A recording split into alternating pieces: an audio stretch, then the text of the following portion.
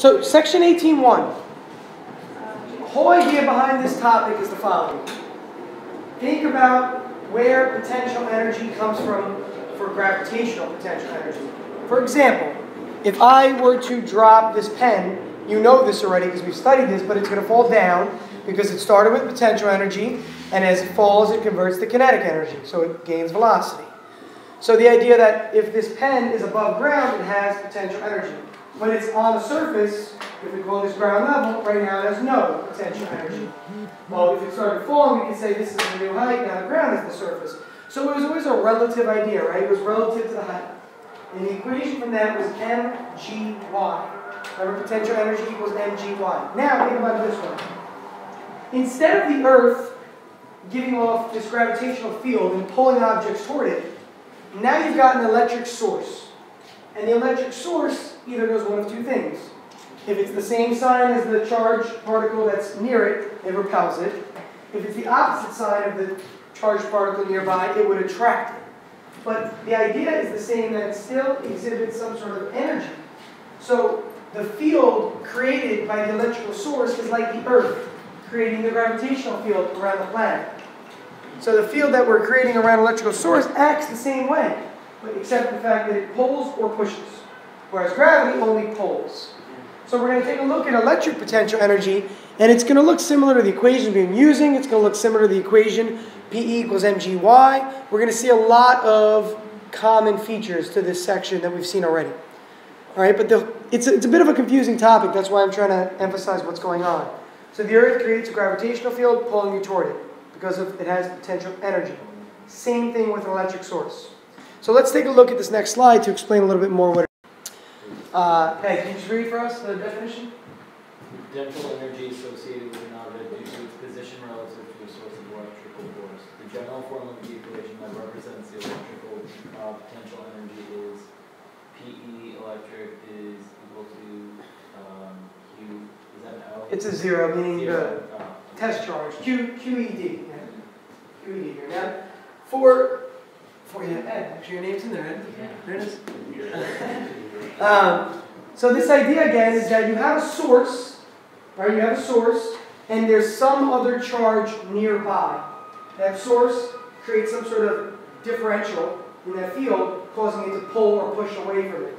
And we know that a force is what's pulling or pushing, but the object has the potential to do things, so it has potential energy relative to the source. Now, why do objects, besides gravity, what else do they need to have? Oh. An object has to have mass to have potential energy, right? We talked about this mgy. If there's no mass, it's not an object, because every object has a mass. That's kind of a stupid thing to say, but imagine an object with zero mass. Not possible, but if it could. It would have no potential energy because mass is zero. Well, the same thing is here.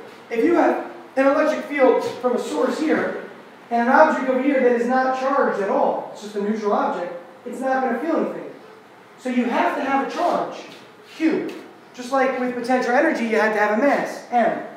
Right? So let's, let's jot this little piece down here. We'll write down a formula. We need M for potential energy we've seen. So Q is like M now, right? M was a, a property of the object, it's its mass. Q is a property of the object, it's its charge. The second part, capital E. What did capital E stand for in section 17.3? What was capital E? Uh, electric field. Electric field. Well, what's little g? Little g in our next part for this equation represents the gravitational field. And then finally, d usually stands for distance, and that's what it stands for here. And what's the last variable in the potential energy equation? Yeah, which is also a displacement or a distance from the relative ground level. So as a result, we can see the analogous nature. It's literally property of the object, field, length. It's the same thing. Alright? There's no difference here. But now we're looking at electric potential energy. So instead of mass, we use electric charge. Instead of gravity field, we use the electric field. And distance is still really distance. Now, this formula is very useful if we know the electric field we're in. And we know how far away the object is. And we also know the charge on the object. Now, if we don't know what the electric field is, but we know what the source is, what we can do and what we're going to see is more useful is to plug in for this capital E. And capital E was defined as KCQ over R squared. That was from section 17.3. So we take this expression here and plug it in for capital E. Giving us at the bottom here the following.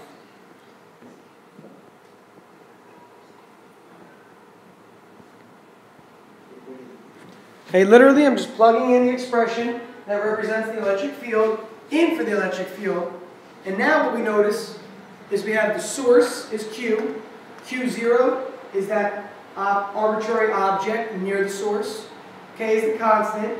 What did R stand for again? The distance between these two particles. Well, isn't that what D is also? So what could you do? Yeah, cancel one of the R's with the D that's there.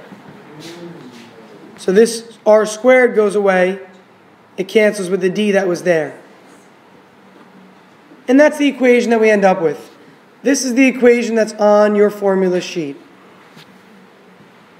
So if you want to figure out the amount of potential energy that a particle feels, or has rather, you know that it's the particle's charge, Q0, Coulomb constant, the source's charge, over the radius, or not the radius, geez, the distance from the source.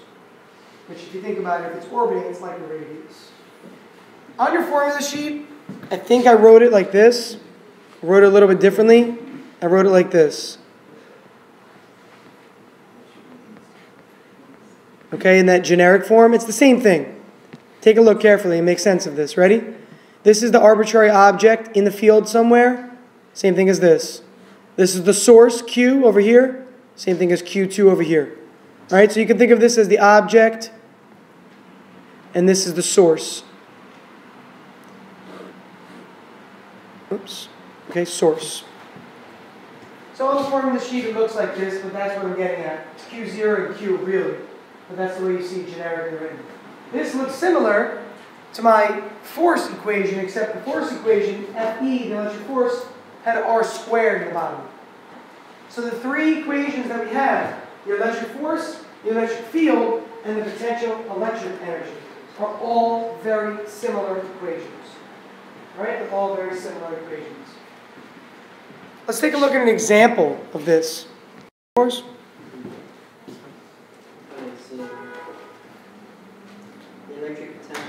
Associated between a point charge of minus 5 Micro. micrograms and a source of 400 micrograms is minus 60 joules. Determine the distance between these two. Okay, determine the distance between these two. Now, we know the source, we know the charge, we know the actual amount of energy. Why is the energy listed as a negative here?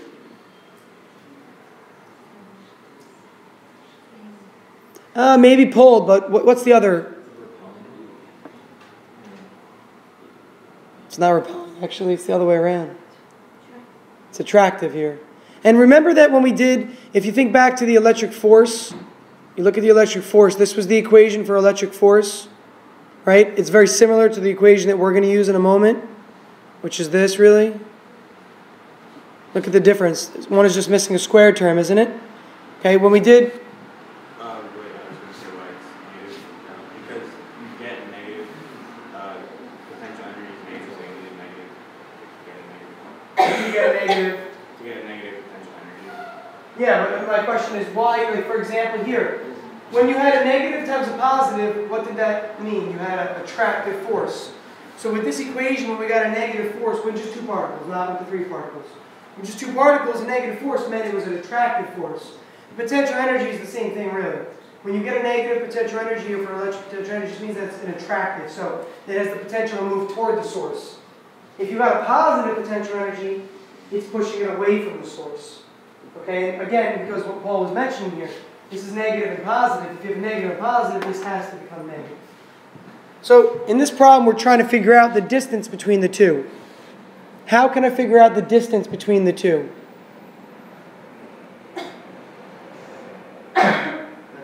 Mike, help us out. Frank, how would I solve for the distance between the two? Well, what variable represents distance in this equation? There's only one of them that works for distance. You remember? Help me out, Victoria. Which one represents distance? R. R. So, Mike, how would you solve for R if you had to solve for it? Yeah, multiply by R, and how do you get rid of the PE? How do you get rid of potential energy? You're going to multiply by R and move it up, right? How do you get rid of this? Yeah, divide. So multiply by R and divide by PE, giving you the following.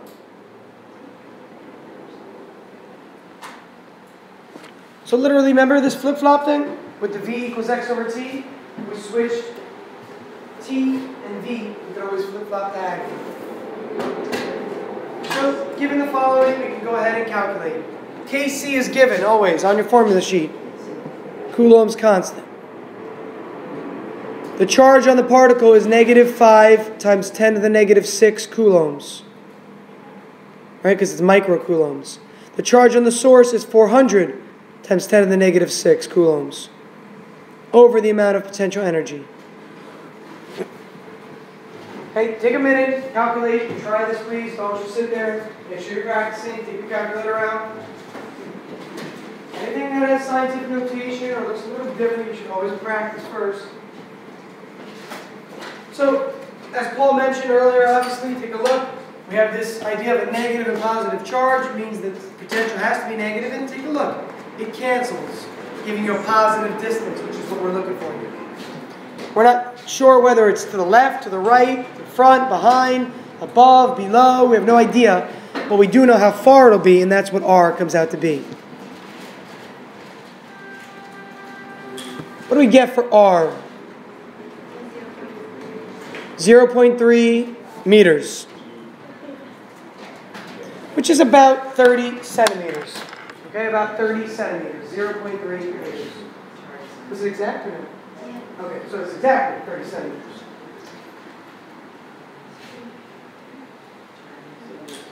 Let's see a quick application of this in the second problem, okay? So we had an idea of manipulating the mathematical part of this. We've, so, we've seen that now.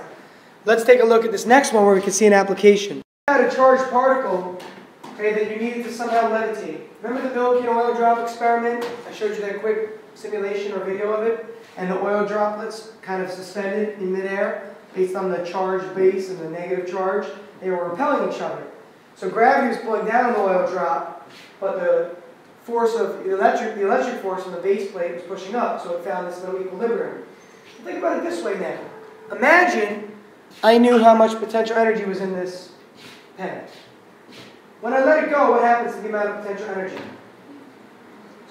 It was? Yeah, because it converts to what kind of energy? Kinetic. So there's a conservation, right? Well, if I had like, say, 20 joules of potential energy based on the height of this, and somehow I had a source on the ground that was a repulsive source that created 20 joules of potential energy in this, but it would be the other way because it's repulsive, it would sit there and levitate. So the idea here is to figure out what source you would need to levitate an object with the given information. So we want this charged particle to be floating above the source. We know that it's in an electric field. We want to figure out what is the specific charge of the source. We know the distance is about 85 centimeters, so a meter is about this tall, so about here off the ground, the source is on the ground. And we know that the object wants to float, right? Because it's not really floating, it's just a balance of forces, what's happening there. And then its charge is 7 nanocoulombs, so a very small or very low charge particle. Uh, the required energy is very little because it's got very little charge. So the question is to determine what should the source charge be. What should the source charge be? So let's go ahead and list what we know. Give me a piece of information. Jay, give me something. Um, What's a given we have? is the potential energy two point six times ten to the negative two joule? All right, good. You don't have to answer in the form of a question. It's not Jeopardy. What else? What else? Victoria, Oh, the radius is 85 centimeters. which is? Uh, 0.85. Okay, the distance from the source is 0.85 meters. Good. What else? Marianne? What if it's uh, cube 2? Sure. Uh, 10 times, 7 times 10 to the negative 10 to the negative, that's micro. This is nano now. Sorry.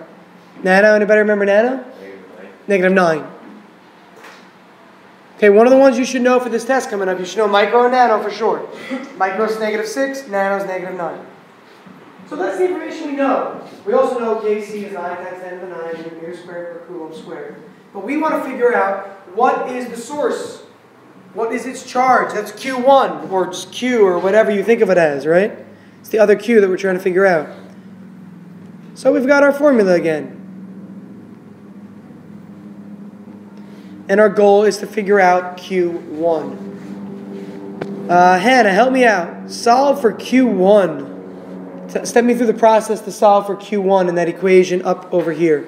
Okay, so you want to isolate the Q1. Good. So how do I get rid of that R first? Um, you can um, multiply the R on the other side. All right, that works.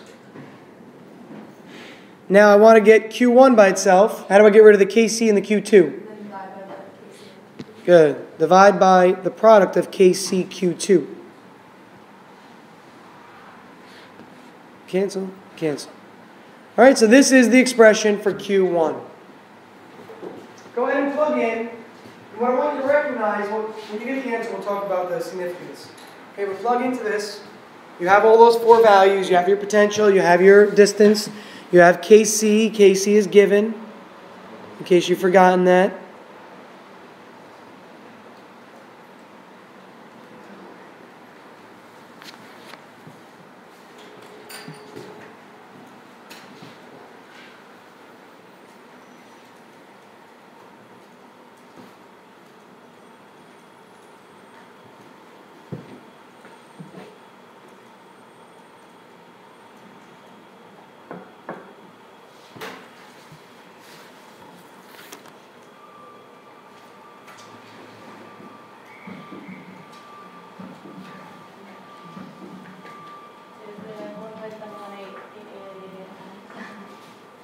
Say it one more time. Negative 20, I don't know if this is right.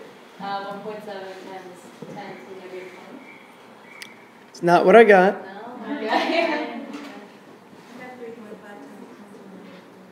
I did get that. Did you put parentheses around your denominator when you divided? Because you have a product in your denominator, right? Check again, check your numbers. Just go through them. See if you forgot a negative sign in the exponent somewhere, or that's usually what it comes to be. Like PE should be negative 2, Q2 should have a negative 9. What was the answer? The answer should be 3.5 times 10 to the negative 4. And it's a charge, so it's Q, uh, so it's coulombs. Now that may not seem like a large number, right? But look at its value relative to the other particle. The other particle was something times 10 to the negative 9. This is times 10 to the negative 4. So this is 10 or 100,000 times larger at least. Right? An order of 5, 10 to the 5th is 100,000. This is at least 100,000 times stronger of an electric charge than the particle that's sitting above it. So although it seems like a little, it's all relative. How are we able to be pulled to the earth? Why am I not pulled toward this calculator case? Because we both have gravity, we both exhibit gravitational fields. Why are we pulled together? Because what? Gravitationally, guys. Why am I not pulled towards something? Gravitationally. Forget electric. For gravity. Like I'm pulled to the earth, I'm not pulled to this, although we both exhibit gravitational fields. Exactly. It has to do with the mass of the earth is overwhelming. It's the greatest mass in the area, so it exerts the greatest gravitational field, overwhelming the others, so we feel Earth's gravitational field. Because it's so much more massive than we or other objects around us are. So here, this is so much more greater in charge than the original object or than the floating object of, 10, of 7 times 10 to the negative 9 coulombs. Okay, so it's able to hold it in place, levitating. So again, the idea is that you have potential energy because of a source generating a field, just like the Earth generating a gravitational field. Any questions on this? That's it for this topic. I want to go back to 17.3 for a minute, but that's it for this. All right. So let's do that.